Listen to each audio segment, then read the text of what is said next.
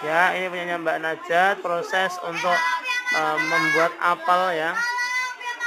Ini apelnya terlihat apa kayak apel ya. Di bawahnya meja bagus, nanti di atas di blok kalau bisa ya Mbak ya.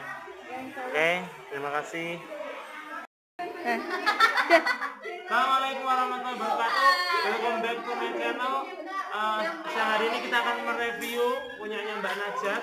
Di sini saya melihat uh, penilaian ini ya baru saya lihat untuk objek benda yang benar-benar uh, kelihatan nyata. Di sini kita bisa lihat bahwa apelnya kelihatan lekukan dari apa ujung tangkainya ini kelihatan banget.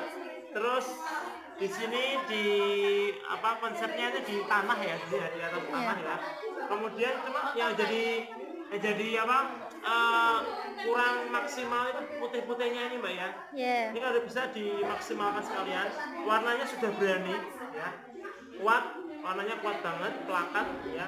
Cuma ini aja yang harus diperbaiki ya, yang serat-serat putih ini. Oke, terima kasih teman-teman.